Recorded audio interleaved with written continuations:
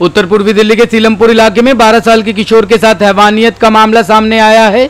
इलाके की तीन किशोर ने उसके साथ अप्राकृतिक यौन संबंध बनाए। फिर उसके प्राइवेट पार्ट में रॉड डालकर मारपीट की। गंभीर हालत में किशोर अपने घर पहुँचा और चार दिनों तक वह अपने दर्द को सहता रहा। जब उससे दर्द बर्दाश्त नहीं हुआ तो उसने अपनी आप बीती अपने परिजनों को बताई, जिसके बाद पुलिस से शिकायत की गई और उसे अस्पताल में भर्ती कराया गया। जहाँ उसकी हालत गंभीर बताई जा रही है, पुलिस ने संबंधित धाराओं में मुकदमा दर्ज कर दो आरोपियों को हिरासत में ले लिया है। डीसीपी संजय कुमार सेन के मुताबिक 22 सितंबर को 10 साल के किशोर के साथ अप्राकृतिक यौन शोषण की सूचना मिली। पुलिस ने पीड़ित परिवार से संपर्क किया, लेकिन पीड़ित परिवार ने बयान देने से इनकार कर दिया।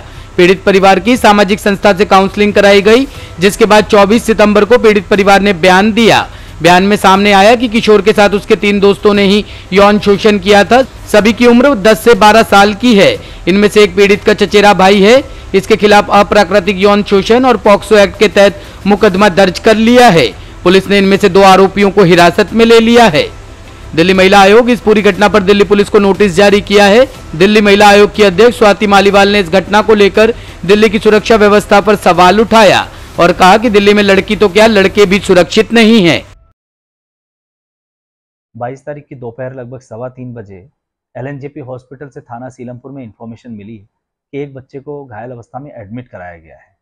आइयो जब वहाँ पहुँचे फैमिली से जानना चाहा स्टेटमेंट लेना चाहा तो उनकी रिलेक्टेंस नज़र आई। ऐसे में सखी सेंटर की काउंसलर की मदद से विक्टिम चाइल्ड की मदर की काउंसलिंग कराई गई और उनका स्टेटमेंट ले पाए। बयान के आधार पर धारा तीन सौ सतहत्तर चौंतीस आई और पॉक्सो एक्ट के तहत केस रजिस्टर कर लिया गया और सेम डे एक सी को अप्रीहेंड भी कर लिया गया। आज दूसरे सीसीएल को अप्रीहेंड कर लिया गया और तीसरे की तलाश जारी है। जाँच में यह पता चला कि वास्तव में घटना 18 तारीख की है, जिसे परिवार ने छिपाई रखा। और ये तीनों अलीज्ड सीसीएल सेम कम्युनिटी से और सेम लोकेलिटी से आते हैं, पड़ोसी हैं और इनमें से एक विक्टिम चाइल्ड का कजिन ब्रदर भी है। आगे की जाँच टॉप स्टोरी ब्यूरो के लिए दिल्ली से रवि डालमिया की रिपोर्ट।